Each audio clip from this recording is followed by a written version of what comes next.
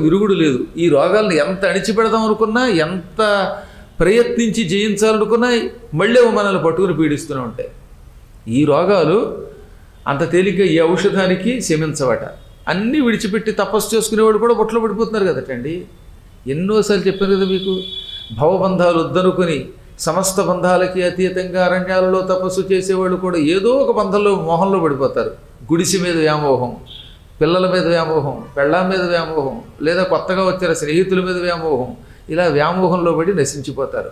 ఈ ప్రపంచంలో వ్యామోహం ఇద్దరి మీదే ఉండాలట. ఒకడు గురువు ఒకడు పరమాత్మ. ఈ ఇద్దరి మీద తప్ప ఇంకెవరి మీద వ్యామోహం ఉండకూడదు.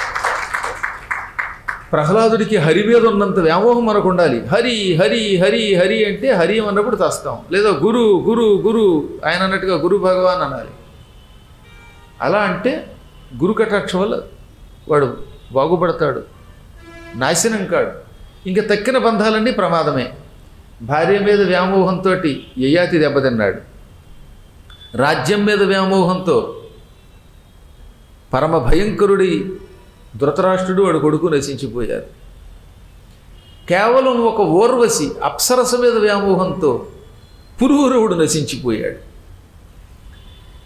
పెంచుకున్న లేడి ఏదో బోడి లేడి అడవిలో దొరికింది. ఏమిటి చెప్పండి హాయిగా తపస్సు చేసుకునేవాడికి ఇంక ఈ లేడి లేకపోతే ఒక క్షణం ఉండలేక రోజుకోసారి పదిసార్లు ఫోన్లు చేసి లేడీ ఎలా ఉన్నావు? అడవిలో ఉన్నావు? అని వాట్సాప్లు చేసి చేసి చేసి దాని వెంటబడి చివరికి మడి లేడిగా పుట్టాడు కర్మ. ఎవరు? జడభరతుడు. ఎన్ని కష్టాలు పట్టాడంటే తర్వాత జడభరతుడు మళ్ళీ లేడిగా పుట్టి మళ్ళీ బ్రాహ్మడిగా పుట్టి చివరికి ఆ కాళికాదేవికి బలవబోయి పూర్వజన్మ సుకృతం ఒకటి ఉంది కనుక మళ్ళీ బతికి పట్టగట్టారు ఇలా చాలామంది నశించిపోతూనే ఉంటారు. ఈ బంధాలన్నీ ప్రమాదం.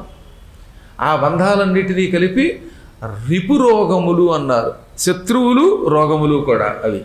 అవే శత్రువులు అవే రోగములు.